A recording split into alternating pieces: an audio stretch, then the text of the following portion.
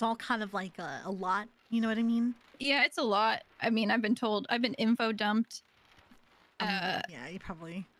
have. yeah, Um. I've been brought out of here to see, well, not the light of day, but you know, the outdoors for the first time in a year and a half, and then quickly rammed back in here. I'm gonna go fucking crazy.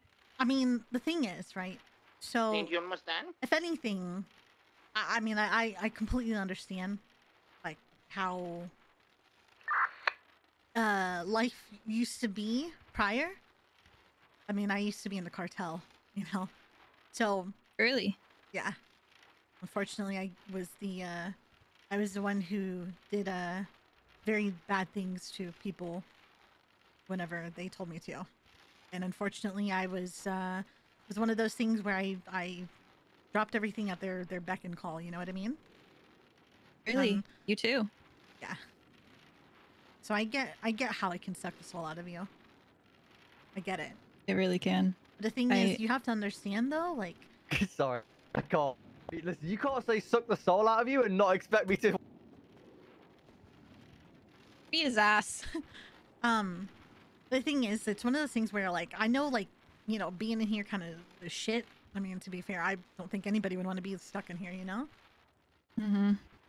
But I think once you realize that I know that, you know, you're probably wanting to go and see people that you knew or talk to people that you knew back then. But you have to I don't know. It's once I let all those people go. I mean, hell, I even killed my own brother. Damn. Once you let everything go and start new, that's when everything kind of gets a little bit better.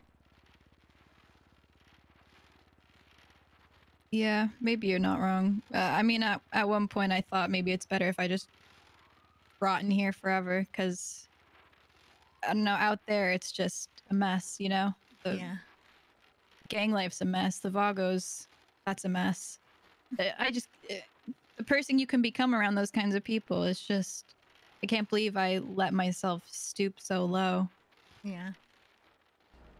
So, I mean, sometimes I just feel like, what's the point? But at the same time, having a taste of freedom again is definitely. Well, listen, I know Denzel's going to be probably going away for quite a while. And obviously now, you know, you have Patar and I, and the others, you know. Mm, I don't know. Maybe help you a little bit, you know? Yeah, I mean,